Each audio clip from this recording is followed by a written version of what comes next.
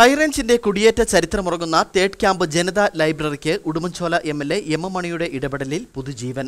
ആറ് പതിറ്റാണ്ടിലധികം പഴക്കമുള്ള ഇടുങ്ങിയ കെട്ടിടത്തിൽ പ്രവർത്തിച്ച വായനശാലയ്ക്കാണ് മുപ്പത്തിയേഴ് ലക്ഷം രൂപ ചിലവിൽ പുതിയ മുഖം കൈവന്നിട്ടുള്ളത്.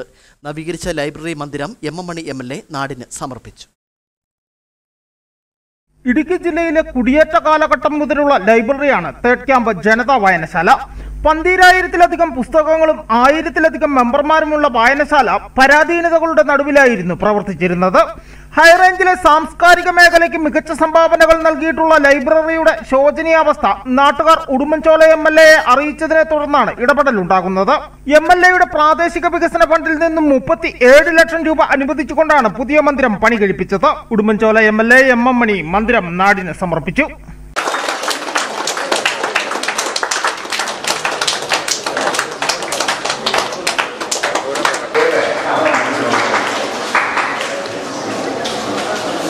ഓക്കെ.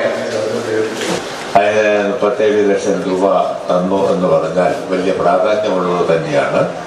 പക്ഷേ എന്തുകൊണ്ട് അങ്ങനെ എന്ന് ചോദിച്ചാൽ നമ്മുടെ സമൂഹം നമ്മുടെ രാജ്യം ഇന്ന് നേരിടുന്ന ഗുരുതരമായ പ്രതിസന്ധിയിൽ വർഗീയതയും വിഭാഗീയതയും അങ്ങേറ്റ സങ്കുചിത താല്പര്യങ്ങളും കൊടികുത്തി വാഴുന്ന ഈ സാഹചര്യത്തിൽ സാംസ്കാരിക രംഗത്തെ മുന്നേറ്റത്തിന് വലിയ പ്രാധാന്യമുണ്ട് എന്നാണ് ഞാൻ കരുതുന്നത് ഏത് കാലഘട്ടത്തിലും കലയും സംസ്കാരവും സംസ്കാരവുമുണ്ട്.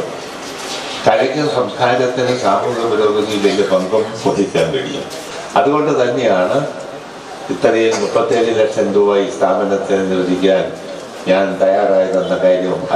ഞാൻ ഈ അവസരം ജില്ലാ പഞ്ചായത്ത് അംഗം ജിജി കെ ഫിലിപ്പ് മുഖ്യപ്രഭാഷണം നടത്തി. Pampadumpara grama panchayat president P T Shihab library ഭാരവാഹികളായ Ramesh Krishnan Joy Varghese N K Bijo S Mohanan ജനപ്രതിനിധികൾ പൊതുപ്രവർത്തകർ തുടങ്ങിയവർ പ്രസംഗിച്ചു. News bureau കമ്പമെട്ട